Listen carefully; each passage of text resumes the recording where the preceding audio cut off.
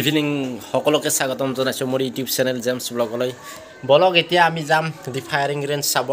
নাট্য মন্দিৰত প্ৰদৰ্শনী হ'বলৈ গৈ আছে। গুৱাহাটীৰ পৰা পৰিচালনা কৰিছিল নলবাৰীৰ প্ৰডাকশ্যন হাউচৰ সহায় লৈ। কিন্তু এইখনে একমাত্ৰ নলবাৰী চিনেমা য'ত সকলো সকলোবোৰ ব্যক্তিয়ে ইয়াত জড়িত নলবাৰীৰ আমাৰ এক্টৰবিলাক নলবাৰীৰ পঞ্চাছ শতাংশ মোৰ গাঁৱত যিয়ে জীৱনত অভিনয় কৰি পোৱা নাই পঁচিছ শতাংশ বাক্সাৰ আছে। আৰু পঁচিছ শতাংশ নলবাৰীৰ তাৰে দুই এগৰাকী নাটক কৰিছে বাকী সকলোৱে নতুন ল'ৰা ছোৱালী বা নতুন অভিনেতা অভিনেত্ৰী। গতিকে অভিনেতা অভিনেত্ৰীসকলক আপোনালোকে কিছু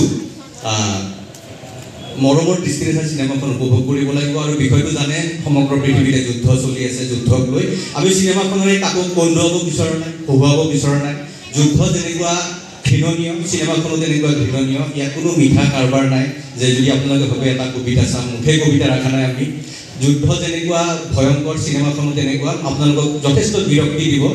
কোনো পৰ্যায়তে আপোনালোকক আৱেগিক কৰি নুতুলিব চিনেমাখনে ইয়াত তেনেকুৱা প্ৰেম নাই তেনেকুৱা নৃত্য নাই। অতি মানে কি এখন বিৰক্তিকৰ চিনেমা? সেইকাৰণে মই আপোনালোকক অনুৰোধ জনাইছোঁ খুব ধৈৰ্য সহকাৰে আপোনালোকে চিনেমাখন উপভোগ কৰিব।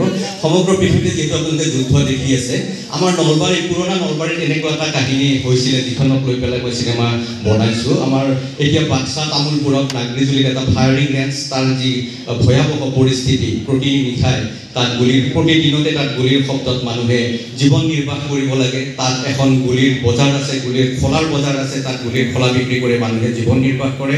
আৰু লগতে বহুত মানুহ তাত পংগু আপোনালোকে যদি কেতিয়াবা যায় তাত দেখা পাব গৈ পেলাই। সেই বাস্তৱতাক লৈ পেলাই সেই চিনেমাখন বনোৱা হৈছে। আনন্দদায়ক আৰু মনোৰঞ্জনমূলক কথা চিনেমাখনত একো নাই। এইখিনি অনুৰোধ কৰিছোঁ আপোনালোকে যথেষ্ট ধৈৰ্য সহকাৰে চিনেমাখন চাব বুলি আশা সমগ্ৰ পৃথিৱীতে এতিয়া যুদ্ধৰ পৰিৱেশ বিৰাজ কৰিছে বিশেষকৈ ৰুছিয়াই ইউক্ৰেইনক আক্ৰমণ কৰাৰ পিছত দেখিবলৈ কৈছে দেখিবলৈ পোৱা গৈছে তৃতীয় বিশ্বযুদ্ধৰ যেন সূচনা হ'ব।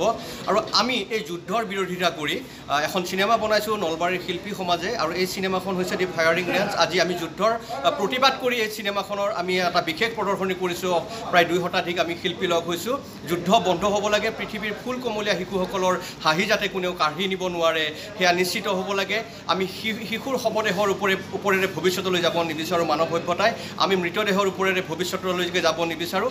গতিকে যুদ্ধবাজ দেশবোৰে শক্তিশালী সামৰিক যি প্ৰদৰ্শন কৰিছে সেইবিলাক বন্ধ হ'ব লাগে।